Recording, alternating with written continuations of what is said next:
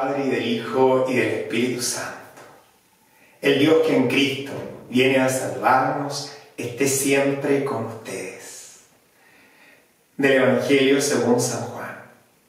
Jesús dijo, Dios amó tanto al mundo que entregó a su Hijo único para que todo el que cree en Él no muera, sino que tenga vida eterna. Porque Dios no envió a su Hijo para juzgar al mundo, sino para que el mundo se salve por medio de Él. El que cree en Él no es condenado. El que no cree ya está condenado porque no ha creído en el nombre del Hijo único de Dios. En esto consiste el juicio. La luz vino al mundo y los hombres prefirieron las tinieblas a la luz porque sus obras eran malas. Todo el que obra mal odia la luz y no se acerca a ella por temor a que sus obras sean descubiertas.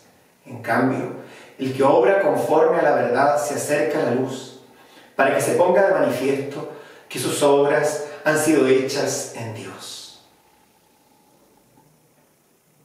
Dios ha enviado al mundo a su Hijo, para que todo el que cree en Él se salve gracias a Jesús.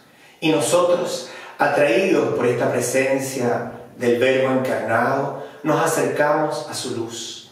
Y ojalá podamos experimentar en este tiempo pascual que nos vamos contagiando de esa luz del resucitado. Porque por lo demás, Cristo, que es la verdad, nos va a ir ayudando a esclarecer toda sombra de tiniebla, de duda, de falta a la verdad.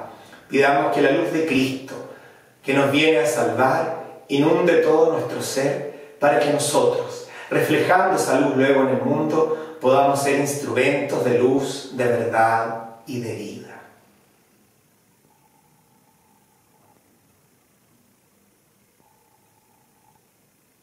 Creo, Jesús mío, que estás real y verdaderamente en el cielo y en el santísimo sacramento del altar. Te amo por sobre todas las cosas y deseo vivamente recibirte dentro de mi alma. Mas, no pudiéndolo hacer ahora sacramentalmente, ven espiritualmente a mi corazón.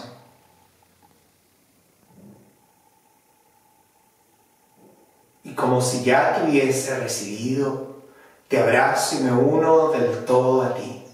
Señor, no permitas que me separe de ti.